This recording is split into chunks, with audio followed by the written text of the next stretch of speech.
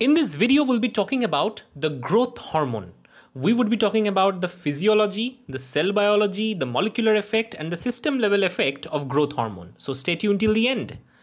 So let's talk about the secretion of growth hormone first. Growth hormone or somatotrophin is actually secreted from the anterior part of the pituitary gland. So let's say we cut a cross section of the anterior part of the pituitary, we would be seeing different zone and they, they are named as thyrotropes, somatotropes, corticotropes, lactotropes, gonadotropes, etc. Among them, somatotroph is the region which secretes the growth hormone or somatotropin. So this is a peptide type of hormone and it acts via specific receptors in many cells. We would talk about that in bit more details. So here we can see the growth hormone is secreted in a pulsatile fashion. What do I mean by that?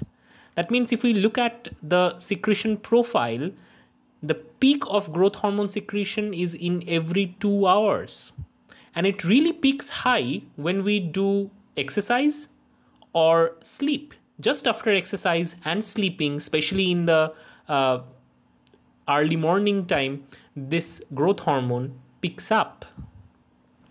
Question is what regulates growth hormone secretion? What are the factors? What are the trigger factors that can lead to the growth hormone secretion? So here are the trigger factors. It turns out when there is hypoglycemia growth hormone is secreted and growth hormone actually try to raise the blood glucose level. We'll talk about that also elevated estrogen and progesterone is associated with growth hormone secretion. Because you know during the puberty where these hormones are up like estrogen and uh, estrogen and testosterone are in elevated level growth hormone acts optimally at that time. Because our growth majorly happening during puberty.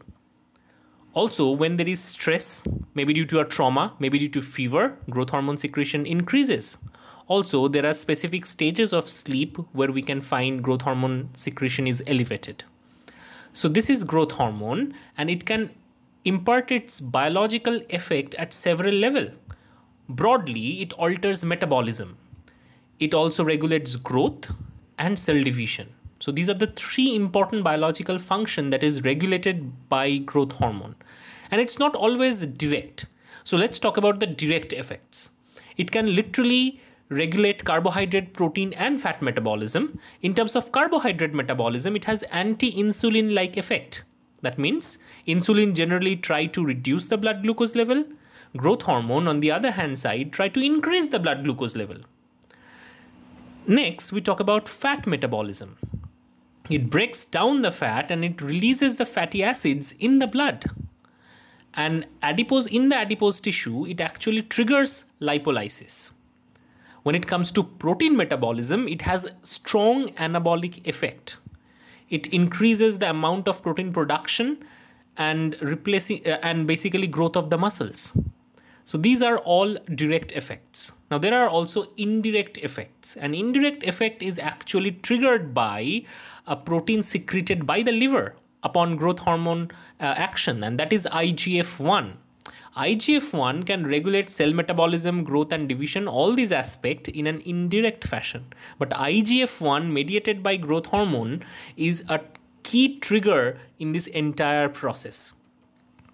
Okay, Another way by which growth hormone can regulate metabolism is by modulating thyroid hormone uh, availability in the blood. In earlier video, we talked about why th thyroid hormone is so important in context of body's metabolism, right? So this is the thyroid gland. You can see in the in, in the thyroid follicle, there are thyroglobulin, which would be eventually secreted into the blood.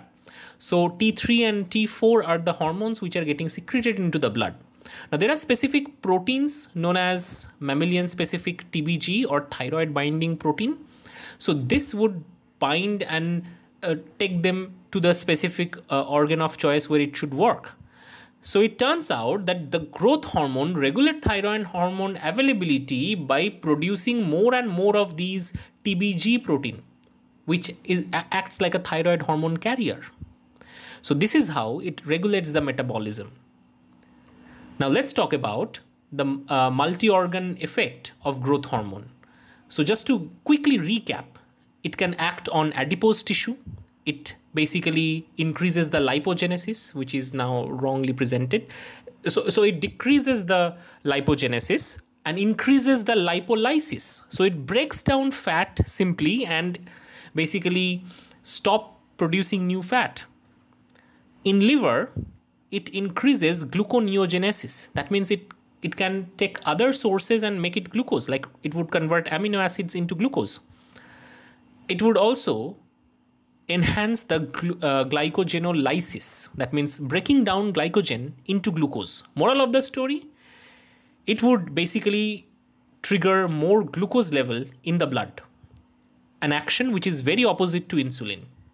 Then in the muscle, it would create hypertrophy by replacing, uh, by basically synthesizing new protein, repl replacing specific isoform of the uh, muscle myosin with another one, and it would prevent the chances of atrophy. Then in the bones also it has strong anabolic effect. It increases osteogenesis chondrogenesis and it increases bone density as well as bone length now given that so many important function growth hormone plays it's important to understand its tight regulation before that we should understand how at molecular level it works so generally a key uh, mediator of growth hormones effect is via IGF uh, 1 receptor. So this IGF-R1 receptor binds to IGF and triggers insulin receptor like substrate. Also it can regulate the components of MAP kinase pathway. Ultimately it activates PI3 kinase which activates AKT and mTOR pathway. Now mTOR pathway uh, triggers phosphoase 6K which lead to transcription of genes which regulate growth and proliferation and some sort of like anabolic responses. It's also important to understand that mTOR signaling pathway is highly, highly studied in context of cellular growth. So one of the way by which growth hormones trigger growth is via the mTOR pathway mediated by IGF-1. Also, it can trigger HRAS, KRAS, NRAS and triggers the uh, standard MAP kinase pathway. And this MAP kinase pathway is another pathway implicated in growth, survival, proliferation. So this is how the effect of growth hormone is imparted in the molecular level. Now let's talk about the stringent regulation. It turns out there are three-way loops, three-way feedback loops that triggers and controls how much of growth hormone action would be uh, there in that particular system. So growth hormone is secreted by the anterior pituitary. Growth hormone can positively regulate bone, bone and muscle growth. It can trigger the liver to secrete several proteins. Okay, when there is too much of growth hormone, what would uh, what would happen is certain inhibitory factor would be secreted from the liver. But let me tell you, growth hormone secretion is also regulated by GHRH, which is growth hormone releasing hormone secreted by the hypothalamus. So more GHRH, more GH, and more effect anabolic effect on bone muscles, etc. So there is too much of GH. Now what would happen? It would impart a negative feedback loop into the hypothalamus. Also, liver can secrete inhibitory proteins like somatomedin and somatomedin can now have inhibitory effect on hypothalamus. It's also important to understand hypothalamus can produce somatostatins and somatostatin can act on pituitary and negatively regulate growth hormone secretion. So now you can understand there is kind of like a three-way negative feedback loop that is acting on uh, the growth hormone secretion. And this is how the growth hormone levels are regulated in the body. But what if this feedback loops, this stringent regulation goes haywire? And it happens in case of some pituitary tumors. So too much of growth hormone lead to a situation called acromegaly, which is like gigantism. Another situation is known as dwarfism, which is due to most of the cases low production of the growth hormone. In different video, we would be talk more about these diseases and we would talk more about the details. But in this video, we looked at what is growth hormone, where from where it is secreted, how it is acting at a molecular and cellular level and how its uh, levels are regulated throughout.